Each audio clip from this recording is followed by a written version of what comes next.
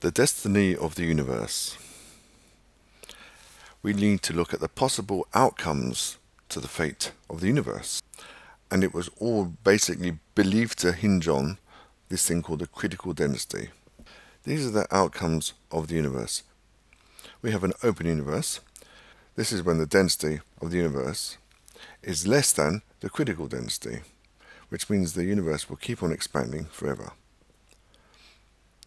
Another outcome will be the density of a universe is greater than the critical density, which means we have a closed universe, which means the universe expands and then contracts again, and we have a big crunch.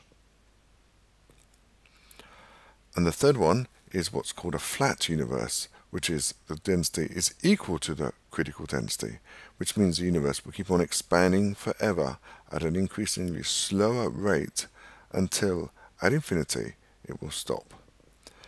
We're somewhere here at the moment, the cosmic factor is 1. This is our uh, position in, in time at the moment. And until five years ago, six years ago, we weren't sure uh, which path we were going to take at this time. This is the old picture, and of course, there's actually another alternative which we will look at later. So, you need to know, as far as the open, closed, and flat universes are concerned, what is the density and what is the fate of the universe. So, low density, which is less than the critical density for an open universe, and it will expand forever, slow down, but never stop. Closed is a high density, it's greater than the critical density, and it will come back to itself, and it will be a great big crunch at the end. The flat universe is where the density is equal to the critical density. It will expand after infinity and then stop. After infinity, it will collapse again. Now we have to come up, up for a derivation of the critical density.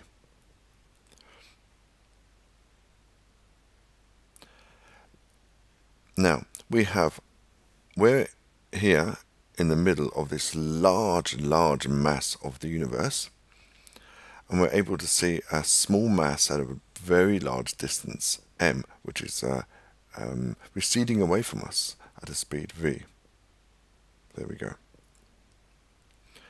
Now, if we have the kinetic energy of this particle, this small mass, is greater than its potential energy, it's basically going to go to escape, which suggests an open universe if the kinetic energy is less than its potential energy, its negative potential energy, it will come back. That will be a big crunch. That will be a closed universe.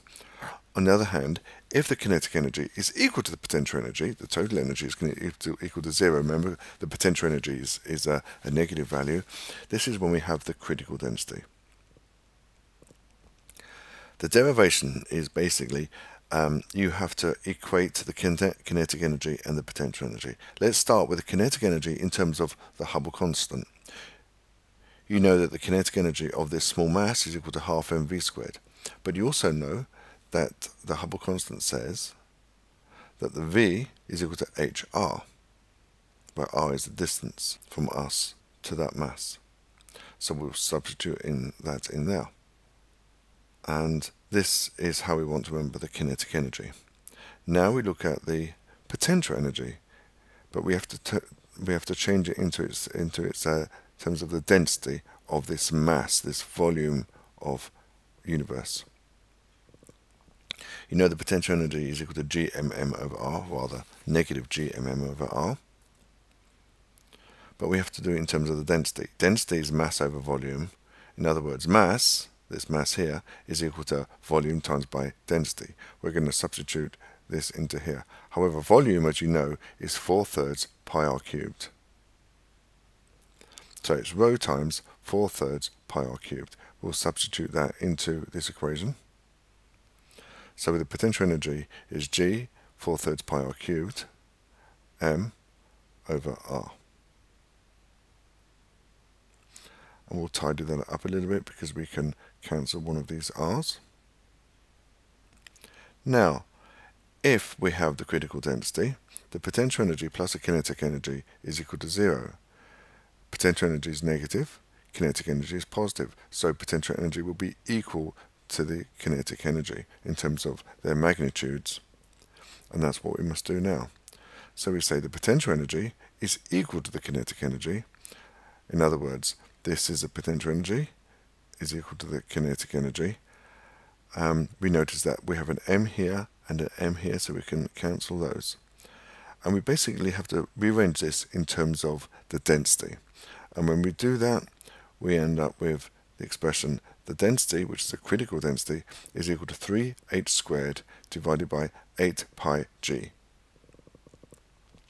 Now you can use the Hubble constant to find uh, rho, but remember that if you do that, h must be put into SI units because h is, let's say, 75 kilometers per second per megaparsec. So you must change that into SI units if you want to get a density in SI units. So sometimes you might be asked to calculate a value for the density, but remember you, you need to convert.